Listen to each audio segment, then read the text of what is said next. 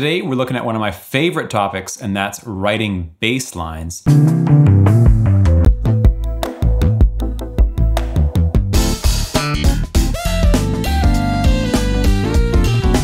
And specifically, how to go from writing basic bass lines, where you're just kind of putting root notes under chords, to writing more interesting stuff that moves around, supports the groove, is syncopated, and all that kind of jazz. By the end of the video, you'll have an understanding of what makes a killer bass line, and then kind of how to go about a logical process of creating that in your own music, whatever the style may be, because these principles are quite universal and can be applied in many different ways. And the examples I have today uh, span a variety of different sounds and tempos and styles, so we'll be able to look at a few different applications of the material. The most important thing you can do to improve your bass lines, which is listen to bass lines. You need to listen to bass lines in the music that you love, in all music, and particularly it's very, very helpful to listen to and watch bass players on YouTube or for your friends if they know how to play bass. I've spent so much time on YouTube watching bass players just playing live, playing at home, teaching, you know, whatever it happens to be, because these are the people who've spent their life playing the instrument. They live bass. They are bass. It starts to get your ears trained on that aspect of the music where you might have been more trained on melody, chords, drums, even in the past. But getting the bass sound into you in an intuitive, kind of almost subliminal way is very important. And as you're listening and watching, trying to sing back what they're doing. You don't need to be so accurate in terms of pitch. You just need to get the vibe, right? You need to understand doom da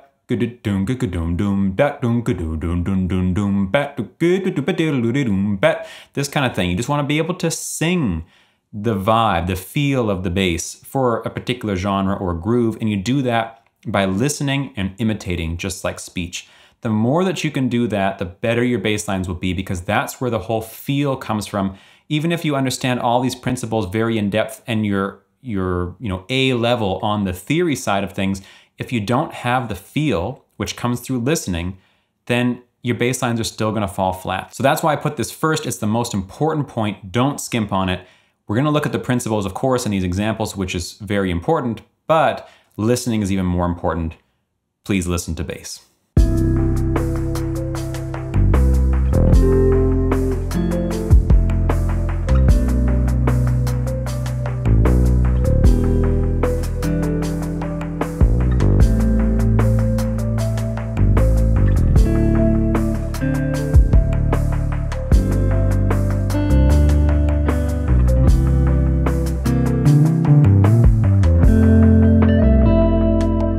First example, I've chosen something relatively simple compared to the others that is just exemplifying some basic principles we need to talk about before we get into the more complex stuff.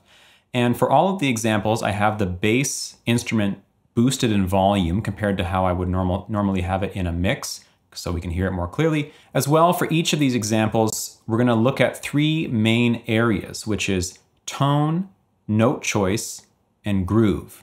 These are the main areas you need to be focusing on when writing bass lines. Tone having to do with the actual sound of the instrument, note choice having to do with what notes you're actually playing, the chords that are playing over you and how you relate to them, and then groove being how you interface with the drums and the tempo and the rhythm of the song and syncopation and so on. So we're going to look at all of these in turn for this example and the others. So let's dive into this first one. So taking a look at this line, first of all, the tone.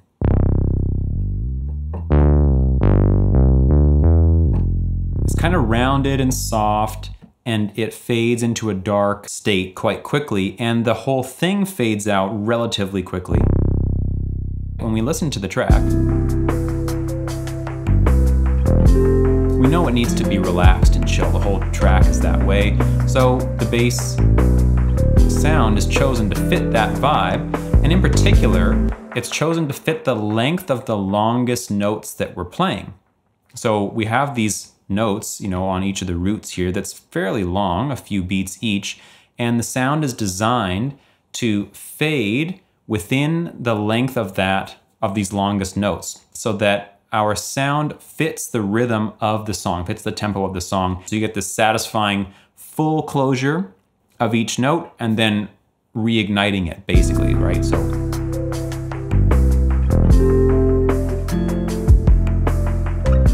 that's the idea with the tone here. Now for the note choice, of course you can see the chords along the top there. This is in the key of C major, and this is an eight bar chord progression running through a series of chords here, a cycle of fourths progression. And we're gonna just be hitting roots mainly on strong beats. Now there's obviously other notes going on here too. And this is where we get into the topic of what other notes do you add when you wanna add some more interest to your line. Now in this first one here, we've got root, fifth, root up to the octave here, down to the third of the chord. And this third of the C major, E, happens to be a half step below the next target note we have. So this is an important point, which is that we're not just randomly jumping to the root note of each chord, we're trying to find interesting and smooth ways to get into it. So here we're kind of walking up root fifth root, dropping down to this third, which is smoothly walking into the F here. While we're on the F, we're alternating between its root and its seventh, which is the next lowest tone available to us, and back to the root again, just to provide more interest instead of just going dun, da, dun, dun, do, dun. We want to drop down and come back up. The idea is just moving away and coming back, right?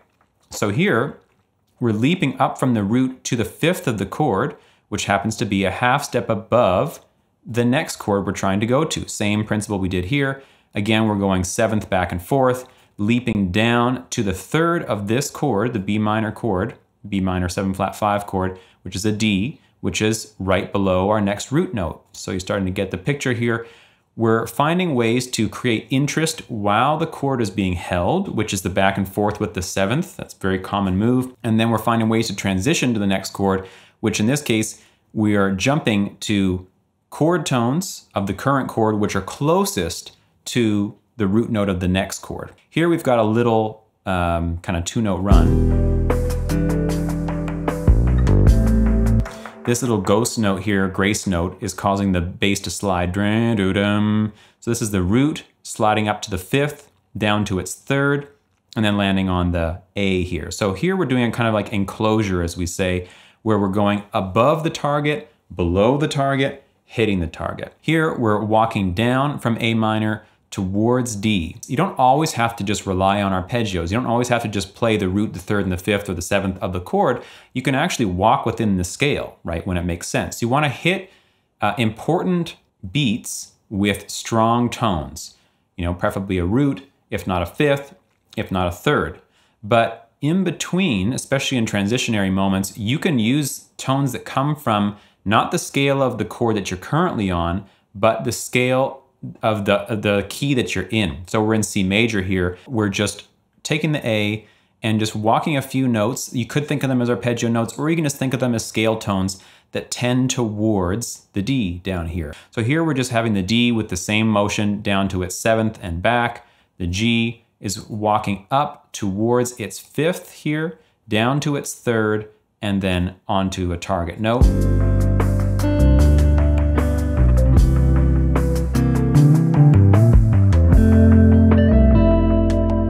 What's going on here at this last bar is that this chord is being split between C major 7 and C7 because the C7 is going to lead us into F major 7. So the point is that the C7 is not diatonic to the key of C major. C major 7 is diatonic, but C7 is not. The difference being that C major 7 has a B in it, and C7 has a B flat. So when we're doing our run, we need to respect that. So for the first half, we're just holding a root. The second half, what's going on here, we're sliding up to the third of the chord. This is the second sliding to the third, down to the second or the ninth, leaping down to the fifth. Then we're going up to this flat seventh that I just talked about, the B flat, and then we're walking down the key or arpeggio in a way. So this is the flat seven, this is the sixth, this is the fifth, leaping over our target note, which is the F, down to the third of C, and then landing on our target note. I'm hitting important notes, that is chord tones, on strong beats, like the third here is on the first beat of the run, the major third. And the other ones are formed by respecting the current chord, which is C7. So we're doing another kind of enclosure type thing, G, E, F, like this. So how I go about creating the contour of a little run like that is just by singing it. And I don't actually know what notes I'm gonna play yet. You know, I unfortunately, don't have that ability a lot of the time. I end up just going doo doo doo doo doo doo, and I don't know really what those notes are gonna be, and I figure it out later. The idea is that I get a contour, a melodic contour in mind that feels good. I know that when I hit that C thum, that's what I want to hear. So once I've got that, I start thinking what notes are going to fit that. And that's how I end up with this, thinking again about the current chord and where I want to go. It all combines to create uh, this little fill right here. The most important thing when thinking about creating groove with bass is the drums. We got to think about A, how busy do we want the bass groove to be?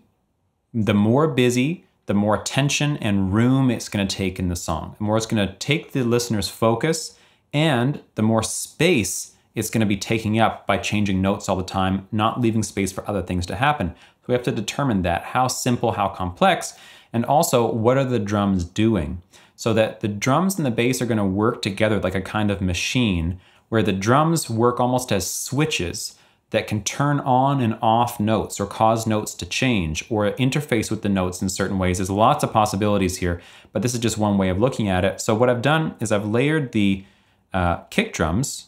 I've just copied them, copied them into this track and muted them down here. And then we're going to listen now through and look at the way that these notes relate to when the kicks hit. Now the kick drum pattern here is very, very simple, but let's take a listen.